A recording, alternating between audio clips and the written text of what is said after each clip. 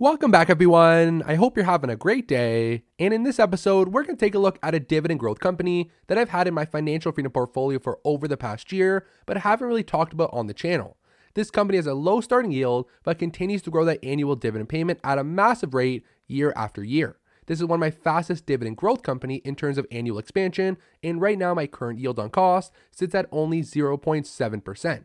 And the company we're going to focus on in this episode is ticker V, which is Visa. They currently trade for $235 per share and are up by over 23% on the past one year chart. And we can see within my current portfolio, this is one of the top holdings. I own 21 shares with a current market value just below $5,000, and I am currently up 29.6% on this holding. And Visa is the leader of the debit and credit card industry, and I'm sure everyone watching has used their product or their service and may have a Visa card right now within their wallet. We see the company is very large with a market cap over $511 billion. They currently trade with a forward PE ratio just over 42 and a very low current dividend yield of only 0.53%.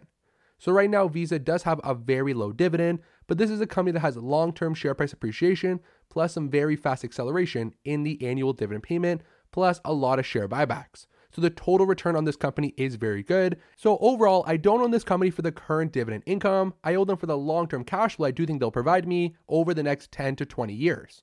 And if we take a look at the recent share price performance, over the past one year, it's up 23%, but over the past five years, they're at more than 222% overall, and I think they'll continue this outperformance for long into the future.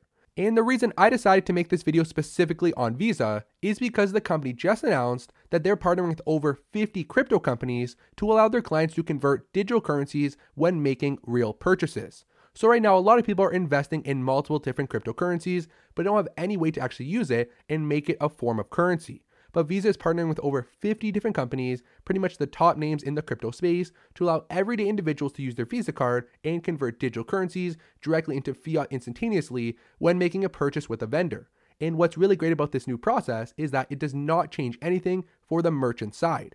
So for the actual store that you're buying from, nothing has changed. For them, it's a normal Visa transaction where they take your payment as if it was straight cash. But on the consumer side, if they want to use their digital currencies or their crypto to actually make your purchase, you can do that going forward through Visa's new partners. So right now they think this is a major, major growth in the world of cryptocurrencies and the fact that the leader in the debit and credit card sector is partnering with so many different companies in order to make this a mainstream service. I personally believe it will bring a lot more clients into the industry and it will also create a new major revenue generating activity for Visa because I'm sure they're going to collect a transaction fee every time you use crypto in order to make a real life purchase. So overall, I think this will have a great benefit to Visa in their top and bottom line, and overall expand the current cryptocurrency market and combine it with real world transactions. So overall, this article is what inspired my video on Visa today. It's one of the top 10 positions within my current portfolio. And overall, in this episode, we're going to take a look at Visa as a whole, go over their recent financial performance, take a look at their dividend and dividend growth, and of course, analyze their financial statements and future growth potential. And I'll start off the analysis by saying that in 2020, Visa did see a slight decline in total revenue due to the global pandemic. So, of course, Visa generates money through different transaction fees and different services provided when consumers spend money. So, when you go through a prolonged period when consumers were saving more money than they're spending, retail stores are shut down, and international travel was completely closed, it got very hard for Visa to generate growing revenue. So they did see a slight pullback throughout 2020, but already we're getting some good news that at the beginning of this current calendar year, things are starting to come back. And if we take a look at their latest investor presentation, we can see that over the first few months of 2021, a major spike in total US payment volume, which is a great sign. And over the first quarter, they did see an expansion in total cards. Once again, a very good sign that more people are signing up for Visa products with the use of using these products, hopefully, throughout the second half of 2021 and beyond to spend money and go traveling. And if we take a look at their cash flow, this is a very, very profitable business that generates a ton of cash year over year, which is why I find it a very attractive investment for my personal portfolio. And we can see in the last quarter alone, in Q2 2021, they bought back $1.7 billion worth of stock and paid out over $700 million in their quarterly dividend.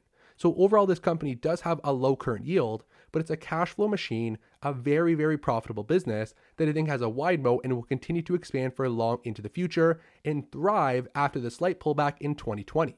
And if we take a look at the dividend, the yield is very low at only 0.5%. The total net income payout ratio is very, very minimal, making up only 23% of their total net income, which I believe to be very sustainable and gives them a lot of room to continue to grow that payment over the longer term. And they have a massive five year dividend CAGR at close to 18.5%. So you buy into this company right now. I understand you're getting a very low current yield, but it's compounding and it's growing at a fast rate year after year. And of course, if we take a look at these numbers, the low payout ratio, the high cash flows, this company has a very safe dividend coming in with a 99. So very unlikely this company cuts their dividend anytime soon. And like I mentioned with Visa, they do a ton of share buybacks year after year. And earlier in 2021, they announced an $8 billion share buyback program for the next 12 to 16 months. So overall, this company provides a ton of cash back to the shareholders through the form of stock buybacks. So the current dividend yield is on the lower end, only at half a percent, you're getting more cash returned to you in other ways. And we can see over the longer term, Visa has bought back more and more shares year after year. And the outstanding shares remaining continues to fall to record lows. And currently, there's only around 2.44 billion currently trading on the open market. So right now, the company has done a great job returning capital to their investors. And as time goes on and Visa continues to buy back more stock, my current position in the company will grow without me having to invest any more cash to purchase any more shares. And now, if we take a look at the company's financial statements, they've done a great job of expanding over the past five years. Starting off with the income statement, total revenue continues to grow year after year after year, with only a slight pullback in 2020. And if we take a look at total revenue, 15 billion back in 2016, up to 18.3, then 20.6, all the way up to just below 23 billion in 2019, and a slight pullback to around 21.8 in September of 2020, and overall during the past 12 months around 21.3 billion dollars in total revenue. So not a major pullback, but total sales are down as of late due to the pandemic that took over the world. And if we take a look at their bottom line, we can see that Visa does average over $20 billion of top line revenue. And if we take a look at their net income, they are extremely, extremely profitable with a net margin right around 50%. A net margin of 50%. So after all expenses and cost of goods, the company still nets 50% income, which is absolutely insane. Very, very profitable. And like we can see, over $10 billion of net income during 2020, down from the 12 billion back in 2019. But I do believe as travel begins to open up like we're seeing right now, these numbers will continue to grow and Visa will be in a great position over the longer term. And next, we're going to take a look at the company's balance sheet, and Visa has over $26.9 billion of short term assets on the balance sheet. And if we compare that to their short term debt, or the liabilities due within the next 12 months, that currently sits at only 12.7 billion. So their current ratio is above 2, and over the shorter term, they're in a very strong financial position. And if we take a look at the total assets, they come in at over $80 billion. But keep in mind, Visa does have a lot of other intangibles and goodwill sitting on the balance sheet that are non cash assets. And if we take a look at the liability side, total long term debt hovering around $21 billion, I do believe is at a very manageable level and not worried about the long term debt sitting with the company right now. And if we take a look at the equity portion of the balance sheet, the third section, total equity does continue to slightly grow over the long term, which is a nice sign to see as well. So overall, Visa in their balance sheet is looking like a pretty good position right now, and analysts do believe the stock is a buy. If we jump over to our first analyst report, 44 people were surveyed, there's 14 strong buys, 26 buys, and only 4 holds. No one is selling out of this company right now, and is pretty much considered, in my opinion, a very strong buy with how these analysts are rating it. And we can see over the past six quarters, they've only missed on expectations once, and it was a slight 0.2% miss on their EPS expectations. And over the next two years, annual revenues forecast to hit 23.6 billion in 2021, followed by some major expansion of over 19% to over 28.2 billion in 2022. So by year end 2022, we're expecting close to 30% annual revenue expansion from their current level. And if we take a look at their future growth in terms of earnings, Simply Wall Street is showing 20% estimated growth per year over the next three years. And from their current position, we can see a very profitable company with total revenue and income at a high level, and that continues to expand through 2024 and beyond. So overall, the company is not expected to slow down whatsoever, and annualized expansion of estimated to be 20% per year going forward. And of course, like always, if we jump over to Yahoo Finance, their analysts are showing a 19% per year expected growth rate in the stock.